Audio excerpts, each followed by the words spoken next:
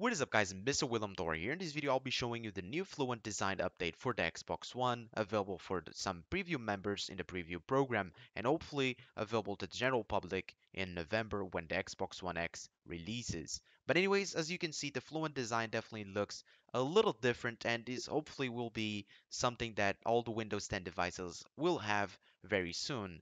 But anyways, here in the Home tab, it's where most things changed uh, either here or the guide. I would say that's basically where everything changed. But anyways, let's get into it. So here you can see that there are four kind of rectangle looking things. And I'm not sure if I'm a fan the way it looks. Hopefully they will change it a little bit. But anyways, here's the most recent app or game that you used. And you still have the options. So if you have if you want to pin it or manage it, you still have the options there. And then you have uh, suggested clubs or suggested friends, stuff like that will appear here, or tips from Xbox Live. Uh, then you have, as you can see, another tip. Uh, you can see here, for example, games that are downloading or installing, or advertisements. So big savings on Rockstar Games. Unfortunately, this is not customizable, so I cannot delete this. So if I don't want to see advertisements from the store, I cannot remove this, unfortunately. But definitely, uh, I think they will most likely have a more customizable option because of what's what I will show you next. But anyways, here in my games and apps, there is a different row here going on. So you can see here the three most recent used apps or games. You have two more advertisements, so either deals with gold or join gold because this is a brand new account so I don't have gold or a uh, advertisement from the store once again. So in the main area, you have, once again, three ads, which I'm not a fan of it. Then here we have a new look of the home section. And this is where the customization comes in. So let's say you have a friend that you want to follow very closely. Well, you can do so by having him on the dashboard. So you can add to home.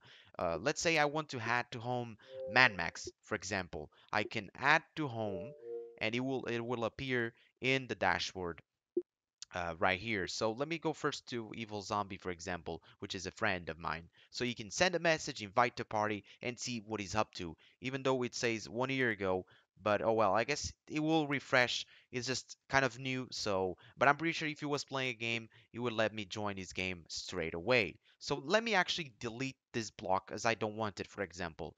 Um, but let's say I want to follow Mad Max very closely to see what the developers are doing, even though this game is not going to be updated anymore. But this is an example. So you can see here the rarest achievements uh, that the community has the most difficulty on unlocking. You can see clips, you can see screenshots, suggested clubs, etc. So it's definitely very interesting. And of course, if a game that has a lot of people playing it, you'll most likely be able to join your friends straight away from here. So that will be very cool. Uh, once again, I can just edit block and I can delete it and that's gone. So if you're a minimalist, you definitely can make it so in this uh, dashboard, I can guarantee you. So here you have the pins and they are not gone. If you want to, once again, you can edit and delete, but it's still here and it's very good. Now, once you update your console for the first time, you'll have this all these different sections here where you can delete them all. I'm actually hovering the option to delete where you can delete them all if you do not wish to have that. So let's go back to uh, the main area and let's actually bring in Mad Max. Let's actually put in the game so I can show you the new look of the guide. It has definitely a different look. So let's pull it up. Here you can see the new guide different looks, but way more smooth and way faster. Let's see. I can literally switch all the tabs or different sections very fast. So let's start from the left. So sign in area, you can uh, click on my profile and it opens a different page, which is very cool. I like it. And then you can switch profiles, sign out, add new, and add guests.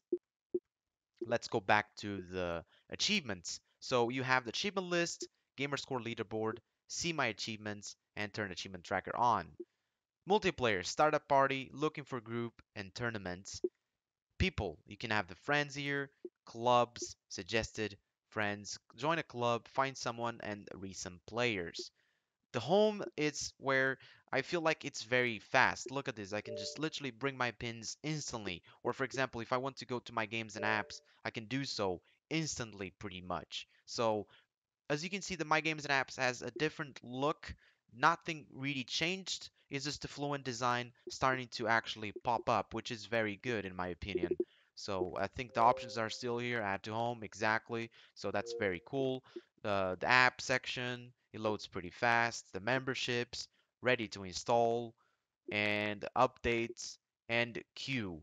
So let's go back here to the game so we can keep showing you the, the guide. So messages, so you can see communication, conversations, new conversations, and the messages from Xbox Live.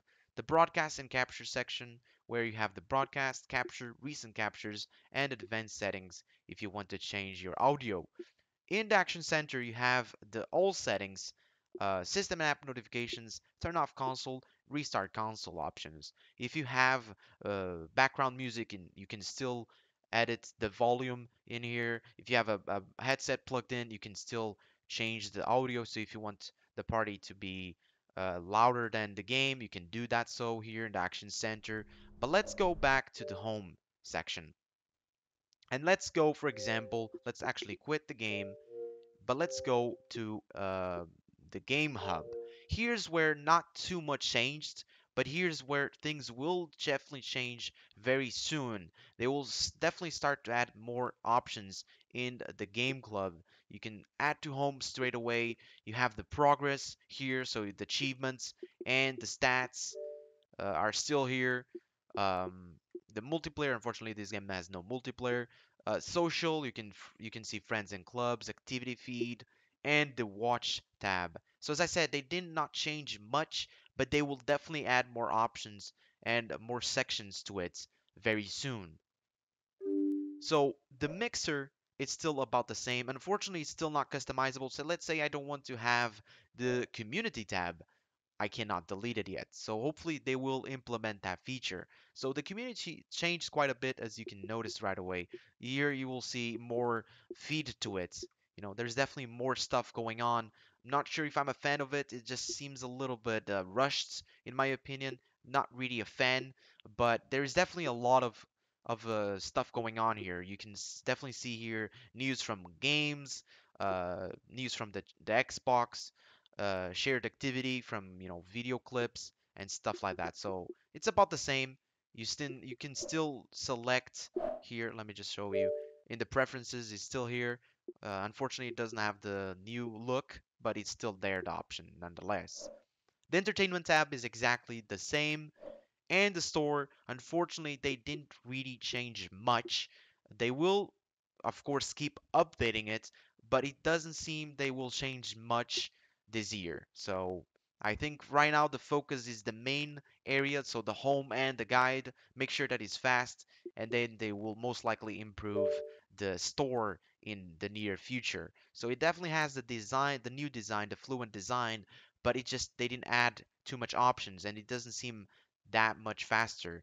So I'm not sure when they will update it, but hopefully very, very soon. So let's actually quit the store and let me show you a feature that I'm following love because I think this will be very interesting in the future.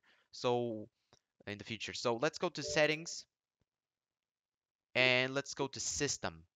If you go to storage, you can now actually, if you click transfer, you can now actually transfer all your games from one device to another. So from one hard drive to another.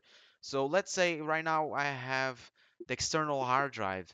I can select all and move selected to the internal because I do not have enough space in the internal. Let me actually just select, for example, two games. Move selected, you can select it and move it to internal. So let me actually just do a quick test of, uh, let's see here, the community, community calendar and the Crackle movies and TV. And let me move selected uh, to the internal. Yes, so let's go back to home and um, let's see what happens. It's a little bit slow, I guess. Let's go to my games and apps. So here it is in queue right away. and it should start transferring. So that's probably one of the best features I would say they implemented within this update. It's definitely uh, lagging a little bit. Uh, so let me go back to home. Yeah, let me, okay, okay. So it's kind of uh, definitely crashed a little bit right there. Uh, let me re, okay. So as you can see, it actually appears here, the community calendar moving to the in internal hard drive. So that's very cool. Or if you're updating a game or downloading a game or app, it will show you here, which is very good. Unfortunately, I can't pause straight away from here.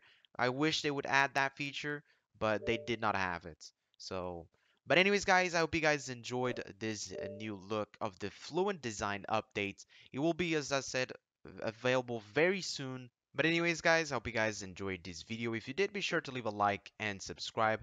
Thank you for watching, and I'll catch you in my next video.